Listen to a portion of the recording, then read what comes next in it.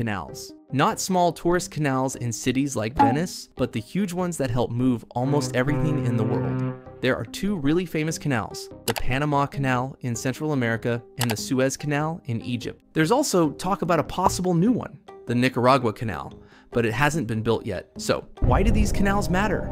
Because they save a huge amount of time and money. Let's take an example.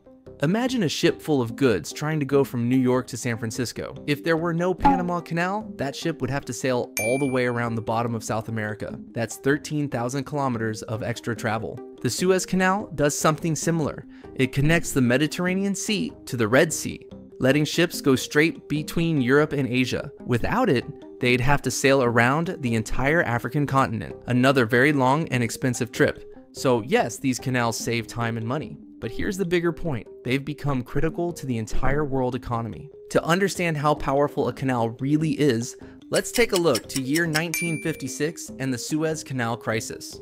Back then, the Suez Canal was mostly controlled by British and French companies, even though it was located in Egypt. But Egypt's president at the time, Gamal Abdel Nasser, didn't like that. He believed that if the canal was in Egyptian territory, it should belong to Egypt, not to foreign powers. So in July 1956, Nasser made a bold move. He nationalized the canal. That means Egypt took full control and kicked out the British and French. Britain and France were extremely angry. They didn't want to lose control of the canal, so they made a secret deal with Israel. Together, they planned a surprise attack on Egypt to take the canal back. But things didn't go as planned. The United States and the Soviet Union, even though they were enemies during the Cold War, both told Britain, France, and Israel to stop the invasion. They were worried that the fighting could turn into a much bigger war in the Middle East. So in the end, Egypt kept the Suez Canal now, one country is trying to get more involved in these important routes. China. Since they are the biggest exporter in the world, it depends a lot on safe and fast shipping routes for their goods. That's why China doesn't just want to use the canals,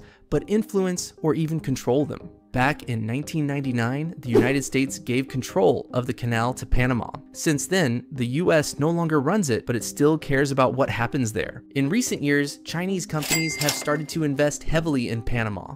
They've built ports, helped run shipping terminals, and signed deals with the Panamanian government. This kind of makes the United States nervous.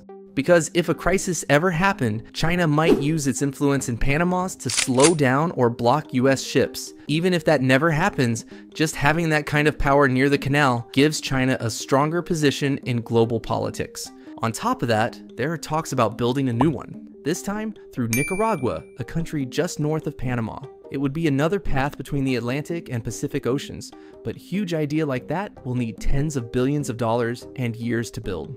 Even if that doesn't go through, we still have these two, which are important strategic checkpoints. If, for example, a war broke out in Middle East, which already is a thing, and the Suez Canal was closed, things could go really wrong. Oil tankers can't pass through. Europe, which depends heavily on Middle Eastern oil and gas, gets into major problems prices for energy and goods rise overnight, and countries would begin to panic. If, on the other hand, Panama Canal would get closed, the US and China would suffer heavily. So now you know that these tiny waterways are kinda important, more than we think. If a giant rock fell on both and blocked them, yes, world economics is fucked.